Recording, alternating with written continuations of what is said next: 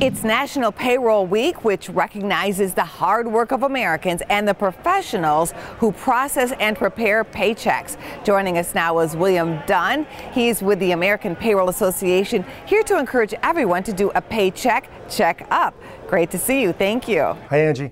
What is National Payroll Week? Well, National Payroll Week is an annual celebration that takes place during the week of Labor Day. It was founded by the American Payroll Association to recognize America's 150 million wage earners and the payroll professionals who prepare their pay accurately on time every time. And during National Payroll Week, the APA encourages everyone who works to do a paycheck checkup and the point is to look for a couple simple ways to maximize your earnings and boost your savings. The new tax law created some major changes for American paychecks. What can you tell us? So it's important to do a paycheck checkup somewhat regularly.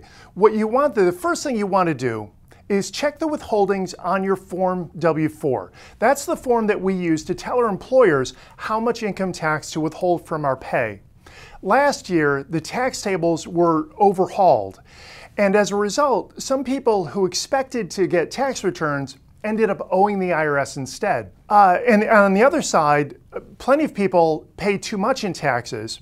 So by adjusting your Form W-4 and using a, an online tax withholding estimator that we, we link to on our website, uh, you can determine whether you're having the correct amount of taxes withheld from your pay. What are more benefits of a paycheck checkup and how can people get the most for their hard earned money? There are a few adjustments that you can make that will help you save on your taxes, set aside money for a rainy day fund, and maximize your retirement. So, first, if you're being paid by direct deposit, talk to your payroll department and ask to split your pay into different accounts. Say, uh, part into your checking account to pay your bills, and part into a savings account for that uh, vacation you're planning on. And second, take advantage of employer provided retirement plans like a 401k plan.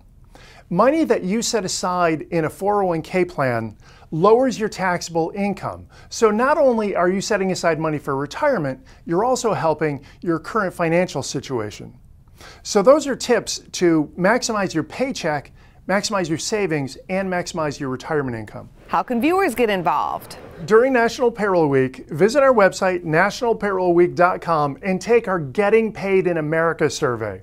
It takes less than five minutes to complete and it helps us gauge important payroll trends.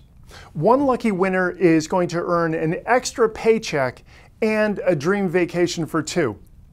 Uh, and also, during National Payroll Week, thank your payroll department. Uh, send them an email, stop by the department just to, to thank them for the, the work they're doing preparing your pay. I also understand that the American Payroll Association is offering education scholarships this year. Tell us more, please. For Money Matters National Education Day, September 5th, APA and our partner Workday are providing three scholarships to high school and college students.